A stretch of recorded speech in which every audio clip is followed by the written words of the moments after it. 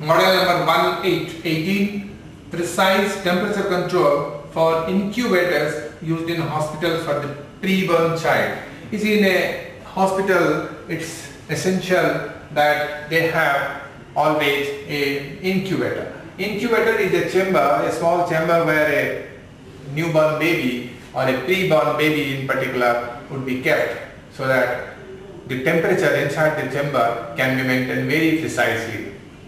The standard incubators which are available, they are with thermostat arrangement. The thermostat arrangement is very very inaccurate and in the process the temperature goes plus or minus to a large extent where it is fatal to the pre-born child.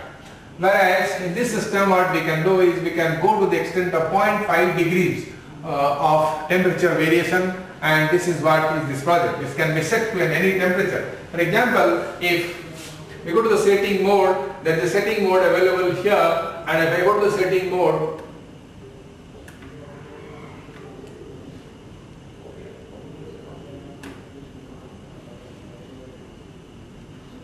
setting mode is 3. I go to the setting mode,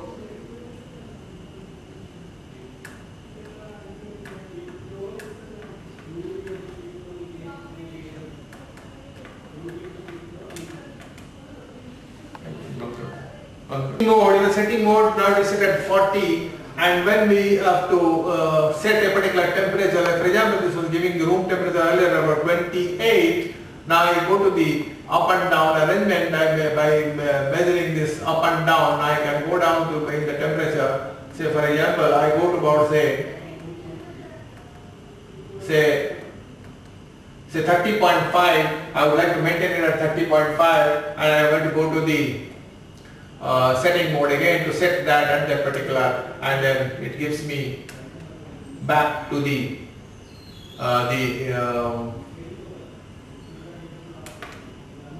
31 is the uh, temperature at the moment which is of course the uh, room temperature at the moment sensed by this temperature sensor. Now once we achieve a higher temperature in the chamber when this, uh, this know, the heater is on, this is a heater indicating a heater and if this temperature goes up uh, by the setting value which we have made based on that setting value the load will be switched off.